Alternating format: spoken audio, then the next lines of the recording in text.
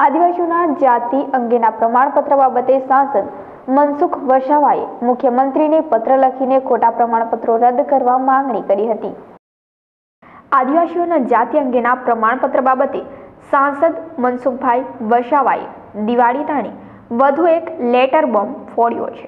જાતિ અંગેના ખોટા પ્રમાણપત્રો રદ કરવા અંગેનો મુદ્દો દિવાળી પછી ફરી એકવાર રાજકીય છાવણીમાં ચર્ચાનો મુદ્દો અને વિવાદનો મુદ્દો પણ બન્યો છે. પત્રમાં સાંસદે એમ જણાવ્યું છે કે ગુજરાતના વિવિધ આદિવાસી સંગઠનો દ્વારા વારંવાર એવી અપીલ કરવામાં આવે છે કે જાતિ અંગેના ખોટા પ્રમાણપત્રો રદ કરવા જોઈએ. તે બાબતે ગોધરા મુકામે જે આંદોલન ચાલી રહ્યું છે તેમાં આદિવાસી ધારાસભ્યો તથા સાંસદ સભ્ય પોતાનું વલણ સ્પષ્ટ કરી અને આદિવાસીના હિતમાં સરકારમાં પત્ર લખી. આ બાબતની સોશિયલ મીડિયામાં પોસ્ટ પણ મૂકવામાં આવી રહી છે. એવા તમામ નવા જાગૃત લોકોને પણ અભિનંદન તેમણે પાઠવ્યા હતા. પરંતુ તેમણે સ્પષ્ટતા સાથે તમામ આદિવાસી સંગઠનોના મિત્રોને જણાવવાનું કહ્યું હતું કે, આપ લોકો સોશિયલ મીડિયા દ્વારા ધ્યાન દોરો. તો પહેલાં, ગુજરાત રાજ્યના માનનીય મુખ્યમંત્રી ભૂપેન્દ્રભાઈ પટેલને આદિજાતિ વિકાસ મંત્રીને તથા ગુજરાત રાજ્યના આદિજાતિ સચિવને પત્ર પણ લખ્યો હતો. અને પત્રમાં તેમણે સ્પષ્ટ લખ્યું છે કે, ગુજરાતના રાજ્યના પૂર્વ મુખ્યમંત્રી વિજય રૂપાણી તથા પૂર્વ આદિજાતિ મંત્રી ગણપતભાઈ વસાવાએ ખૂબ જ મહેનતથી ખોટા પ્રમાણપત્રો બાબતે વિધાનસભામાં બિલ લાવીને કાયદો બનાવ્યો અને ખોટા પ્રમાણપત્ર રદ કરવા નિયમો પણ બનાવ્યા. તેમાં કોઈપણ પ્રકારની બાંધછોડ નહીં કરવી જોઈએ તેવું પત્રમાં સ્પષ્ટ લખવામાં આવ્યું છે.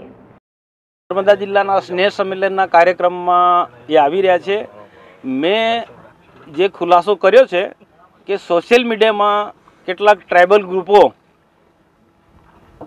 ખોટા પ્રમાણપત્રોને લઈને, જાતે અંગેના ખોટા પ્રમાણપત્રોને લઈને અલગ અલગ પોતાના વિચારો મૂકે છે કે ધારાસભ્ય, સંસદ સભ્ય, આદિવાસી આગેવાનોએ આ પ્રકારનો ખુલાસો કરવો જોઈએ ખોટા પ્રમાણપત્ર બાબતે.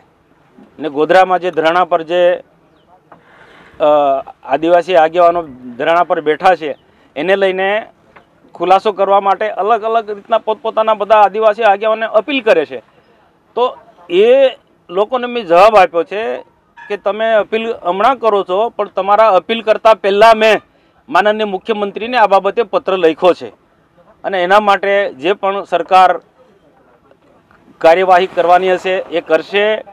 આજે પણ મારું સ્પષ્ટ અભિ સ્પષ્ટ અભિપ્રાય છે કે જે પૂર્વ સરકારે, વિજયભાઈ રૂપાણીની સરકારે ગણપતભાઈ વસાવાના પ્રયત્નોથી ગુજરાત વિધાનસભામાં ખોટા પ્રમાણપત્રો લઈને બિલ આવ્યું કાયદો બન્યો અને ત્યાર પછી સરકારી નિયમો બન્યા છે.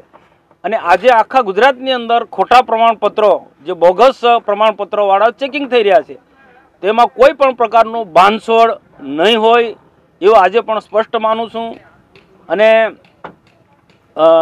મને વિશ્વાસ છે કે પાછલી વિજયભાઈ રૂપાણીની સરકારે ગણપતભાઈ વસાવાના પ્રયત્નોથી વિધાનસભા બિલ આવ્યો, કાયદો બન્યો અને ત્યાર પછી નિયમો બન્યા છે.